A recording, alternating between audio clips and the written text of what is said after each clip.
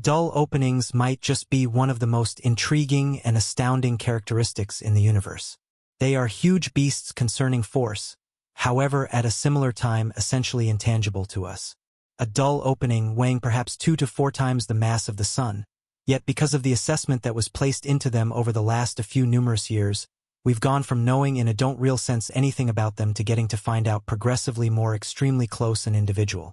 And remembering that things have absolutely gotten more crazy, Makaku as of late proclaimed that we've at last gotten a gander at what's inside a dim opening. Furthermore, this new information conveys light to the nuances the universe of science might have missed from the start.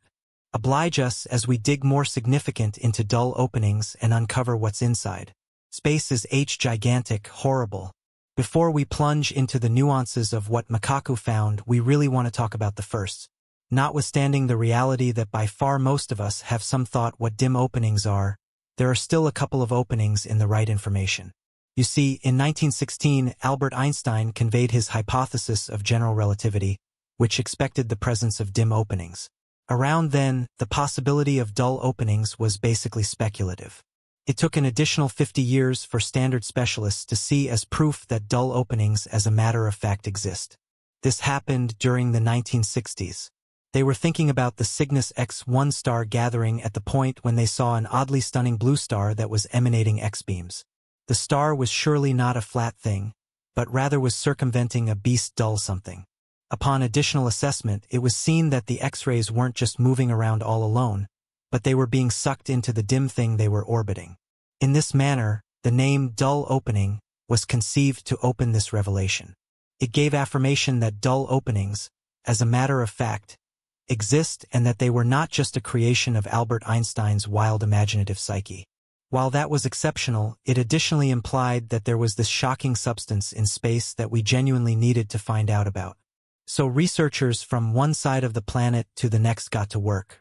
This dull opening was named Cygnus X1, and it is arranged in the gathering of stars Cygnus, encompassing 6,000 light a very long time from Earth. It was no little disclosure, it's on numerous occasions more splendid than the sun and impossibly thick, which causes it to have a strong gravitational draw. The gravitational draw is serious to the point that not in any event, light can move away from it. Therefore, it is known as a dull opening. The possibility of a dim opening is both intriguing and a neighborhood to terrify. It's a spot in space where gravity is strong to such a degree that nothing, not in any event, light can bypass. Whatever gets excessively close to a dim opening will be maneuvered into it, gone forever. Yet, that part of danger makes it substantially more vital to realize all that there is to acknowledge about them. Was this it? Or were we just beginning? The response twisted up being the last choice. After the disclosure of Cygnus X1, analysts started to search for other dull openings.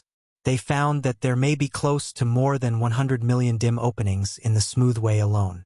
However, since they are so incredibly hard to distinguish, we actually don't have a distinct number. Yet, ultimately, from the energies of it, there are two or three million dim openings in the smooth manner in our actual framework, which makes them substantially more critical to think about. So let's isolate it.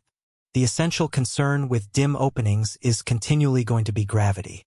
Their gravitational attract is serious to the point that anything that enters it packs down enormously until it transforms into a singularity. In more clear terms, dim openings resemble huge vacuum cleaners that suck everything in. One of the most disturbing aspects about the assessment that has gone into dull openings is the truth that if someone somehow ended up falling into one, they would stop fooling around and become a single line. This change would happen gradually, and the person would pass on before the last design sets in. So we should essentially say that no one should step into one. They're all over the place, so might we anytime genuinely be in danger? Despite the way that the closest dull opening to Earth is 500 light-years away, it's very near. Arouse different types of criticism. In 2021, scientists had the choice to convey the primary clear photograph of a dull opening, specifically the M87 dull opening. This dull opening was shot a couple of nights in progression, and with every photograph, the experts collected to an ever-increasing degree proof about it. They expected to join the photos together to make something that filled all of the openings. This way, they had the choice to figure out that there are three layers to a dim opening. It's not just one single growing opening of nothingness, as many people acknowledge. Things are essentially more complicated than that. To attempt to get to the nothingness part of a dim opening, you really want to make it through the initial two layers. The first layer is known as the event horizon, which, while in the main layer, is the last defining moment. Once you pass the event horizon, there's absolutely not a chance other than straight ahead. Furthermore, you will be sucked into the dim opening. It just falls apart starting there on out. The resulting layer is the photon circle, which is the locale where light circles the dim opening. Any light that enters this locale will be gotten and can't move away from the dim opening's gravitational draw. Finally, we come to the third layer, which is the characteristic. This is where everything that enters the dull opening gets compacted down vastly until it transforms into a singularity. The singularity is a point in spacetime where the laws of physical science as we presumably know them isolated, and we can't guess what happens straight away at the characteristic. The thickness is unlimited, and the laws of physical science as we understand them neglect to exist. Presently, what makes this unendingly more unfortunate is the reality that each further and every dull opening you study will be absolutely not equivalent to the last. Sure, they do for the most part follow something almost identical three-layer con thought. Yet the way they ability could be amazingly different. At this point, accepting this were much else, all we'd expect to do is return on those telescopes. What's all the more, basically focus on the fundamental thing in detail. However, with dim openings, you can't genuinely do that. Specialists would be able to concentrate on dull openings by suggestion, by seeing the radiation they release, also the gas and buildup that encompasses them. Sending a test like the Pioneer in inside a dull opening is unfeasible. In light of the way that whatever enters the event horizon is pulled towards the singularity where it is compacted to a vastly little point. So you can't just waste billions of dollars just to get an impression each time because the second the test gravitates toward enough, it'll simply crush into nothingness. Along these lines, in evident issue, analysts are left with no decision with the exception of to focus on these things in a two-layered manner. In spite of the fact that they are three-layered characteristics, to make matters significantly more interesting, there are also the two challenges of every single dull opening being exceptional, and the laws of material science as we understand them separating when we attempt to examine inside. This implies that the customary methods for scientific demands don't really apply to the survey of dull openings. That doesn't really mean that the subject matter experts haven't been occupied. There are lots of different theories and explanations of dull openings. And well, with each one, things get to an always expanding degree intriguing. One of the most persuading speculations about the advancement of dull openings is that they are produced using fallen stars. When a star exhausts all of its fuel, it can at absolutely no point in the future make enough energy to really test the force of gravity that is consistently pulling inward. Accordingly, the star starts to separate in on itself, diminishing what's more, denser as it does.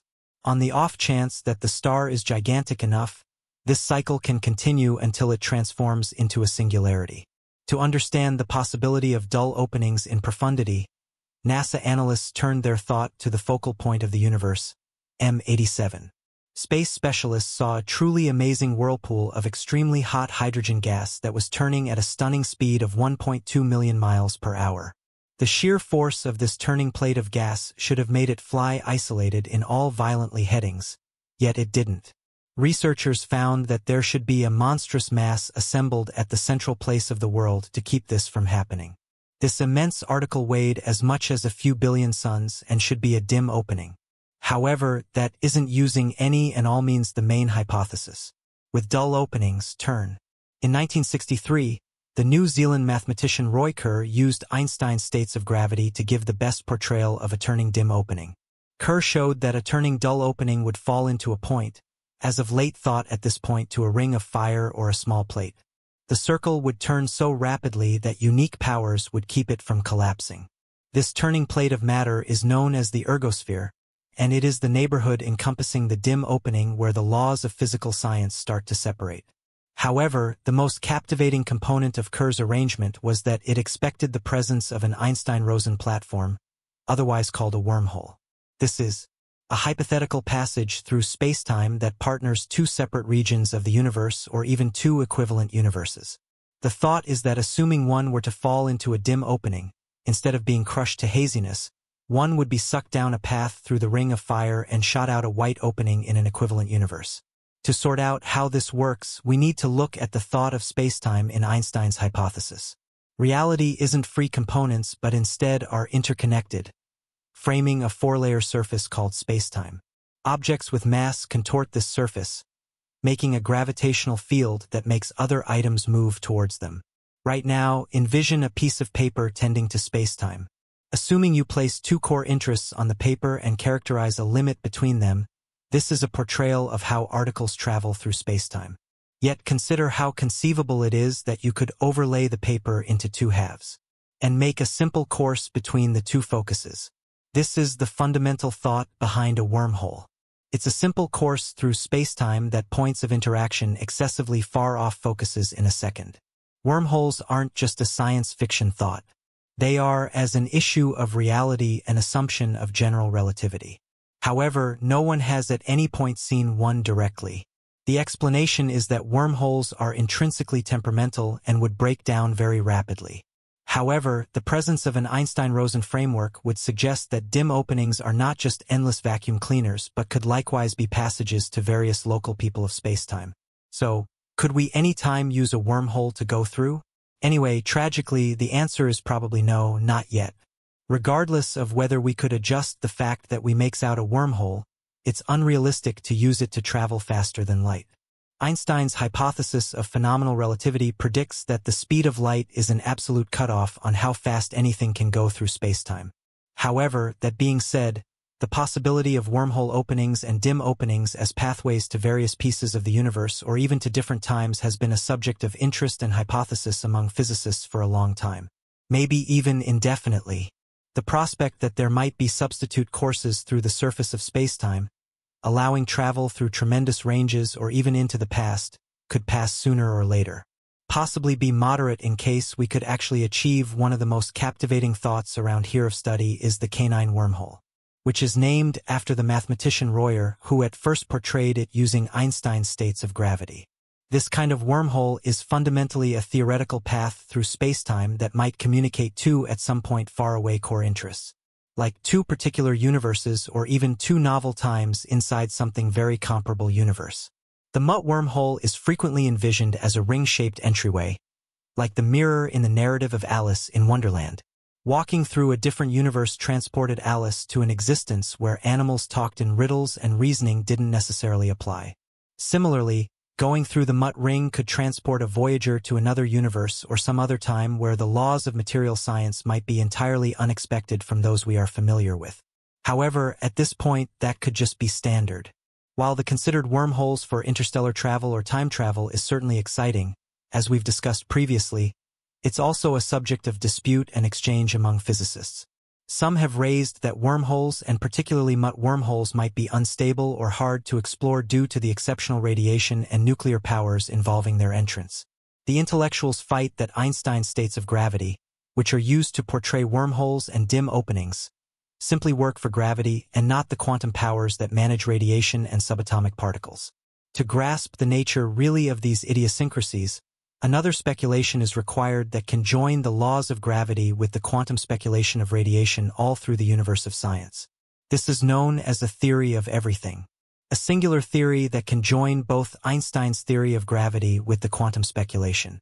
Makaku, who's a prominent theoretical physicist, has been dealing with a theory of everything for a long time too. While there are piles of different types of what this could be, the one specifically that has shown in sure is superstring theory. Superstring theory joins gravity with the speculation of radiation. The theory suggests that subatomic particles are truly little vibrating strings, and that the universe is an ensemble of these strings. In basically the same manner as different melodic notes interact with different vibrations of a violin string. Different particles in nature interact with different vibrations of a superstring. One of the intriguing things about superstring theory is that as a string moves in time, it bends the surface of space around it, conveying dull openings, wormholes, and other amazing arrangements. This expects that superstring theory not just combines Einstein's theory of gravity with the quantum theory, but it also figures out a seriously huge number of the perplexing idiosyncrasies that we find in the universe. Yet, there's something about this theory that honestly wrecks how essential it might sound at first. Anyway, in a way, it makes more sense too. The superstring theory requires 10 components of spacetime in which the strings can vibrate. This is extremely not quite the same as the three components of room and one component of time that we experience in our customary encounters. Imagining what is problematic about these extra viewpoints might resemble. Yet, physicists have encouraged some contextual models that can assist us with understanding. Consider a two-layered lake moved by fish that are, figuratively speaking, aware of the parts of length and width. To these fish, there is no such thing as level, and they can't even imagine what it might be really like to live in a three-layered world.